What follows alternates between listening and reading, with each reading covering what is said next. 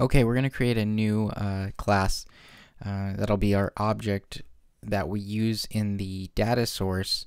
So that way we can uh, just have one object that holds all of our marker information that we can just, you know, pass to the data source and then uh, save it to our database. So we're going to go ahead and create the new class.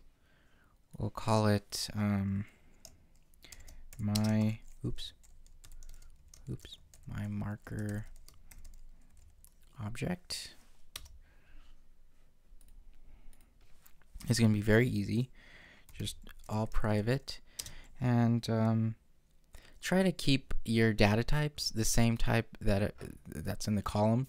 That way you don't have to parse it and uh, you know make it uh, hard to work with. Oops the string for the title. Um, yeah, we're just we're just copying the column types. So uh, string for the snippet, and one last one. Oops.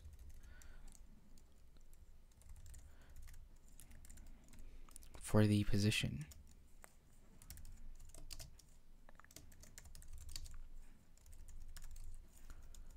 And since we're not saving the actual position, like a, as a latitude and longitude object type, we're going to actually get the latitude and the longitude separately, uh, parse that, and convert it to a string. It'll be separated by a space. The latitude and longitude will be separated by a space in the string. And we're going to push the string to the actual database, and then we'll just parse the string separately within the class. Um, when we get there, you'll see what I mean. We'll just have a empty constructor, a, a filled up a constructor, an overloaded constructor, and then we'll uh, encapsulate these fields and let Eclipse do that for us. Encapsulate fields. We want both getters and setters for all of them.